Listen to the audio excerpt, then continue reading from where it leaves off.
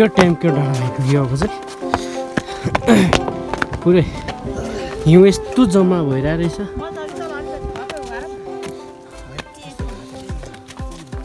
मुन्दुम पदमार्ग हुँदै आइपुग्नु भयो नि त। हजुर मुन्दुम पदमार्ग। हजुर यो पदमार्ग हो यो। यो चाहिँ किराँतीहरूको जीवन दर्शन। मुन्दुम। जसको नामाकरण गरिएको छ यो। यो क्षेत्र र यो अब किराँतीहरूको जीवन दर्शन मुन्दुमबाट यसलाई नामकरण गर्ने एउटा इतिहासमा राम्रै कुरा हो। सबैले यसलाई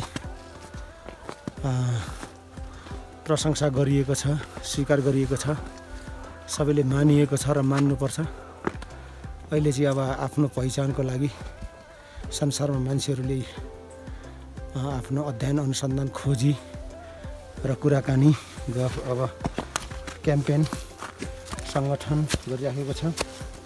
मान्छेलाई समृद्धिमा पुगिसके पछाडि पहिचानको आवश्यकता हुन्छ। समृद्धिमा नपुगिन्जेलसम्म रोजीरोटीको समस्याको कारणले गर्दा पहिचानभन्दा एक तलाको समस्या हुन्छ। त्यसले गर्दाखेरि यो अहिले मुन्दुम पदमार्गको रूपमा यो टेम्केलाई टेम्के जस्तो सेल्मे टेम्के चख्या हिँड्दै हिँड्दै मुलुङ मुलुङ त्यस पछाडि मिरुङ कले देखि खेवा साल्पासम्म साल्पा सिलिचुङदेखि। हिमालसम्म पुर्याउने एउटा योजना छ अब यो ट्याम्केको उचाइमा हामी आइपुगेका छौँ यहाँ तिन हजार दस मिटर उचाइ रहेको यो ट्याम्केमा। त्यो पर बोर्डमा त एकतिस सय मिटर लेखेको छ त त्यो होइन खास तिन हजार दस मिटर हो। म आफैले अल्टिमिटरले आएर नापेको। अहिले यहाँ स्विचले पनि नाप्दाखेरि त्यति रहेछ यहाँ देख्न सकिन्छ। टेम्के तिन हजार दस मिटर छ होइन? बेस क्याम्प हामी जहाँ मोटरसाइकलहरू छोडेर आयो त्यहाँ पच्चिस सय उनान्सय भनेको समथिङ छब्बिस सय मिटर उचाइ समुद्र सतहबाट छ। चकिया तेइस सय एकाउन्न मिटर उचाइमा रहेको छ। र यतापट्टि यतापट्टि भने उतापट्टि चाहिँ साउबास ताभन्ज्याङ बाइस सय तिन मिटर ताभन्ज्याङबाट सुरु भएको हो यो। अनि साउबास पच्चिस सय सत्तरी हुँदै हामी तिन हजार दस मिटरमा आइपुगेका छौँ। र आज हामी चाहिँ उत्तरी मोडाबाट चढ्यौँ यो ट्याम्के तर आज यहाँनिर दिन सफा छैन। दिन सफा नभएकोले गर्दाखेरि राम्रो गरी दृश्यावलोकन गर्न पाइएन। पाइएन। चराचुरुङ्गीहरू यति हिउँमापट्टि उडिरहेको छ रमाइरहेको पाइन्छ। मान्छेहरू चाहिँ अब धेरै नै आवत जावत बढेको छ। अब तर यहाँ धेरै बेर बस्न सकिन्न। बढीमा आधी घन्टा चिसोको कारणले। र अब यहाँनिर गणतन्त्र स्मारक बनाउने योजना थियो तर त्यो अधुरै रहेको छ। फेरि पनि त्यसलाई त्यो गोपाल किराँतीले सुरुवात गर्नुभएको योजनालाई पुरा गर्न सकिएन। पछि प्रदेश नम्बर एकको मुख्यमन्त्री मुख्यमन्त्री शेरधन राईले यसलाई अलिकति थोरै प्राथमिकतामा राखेर योजनाहरू बनाए तर सुरुवात गर्न सकेन। त्यो पनि एउटा डिपिआर तयार भएर एउटा ठेक्का लागिसकेको थियो।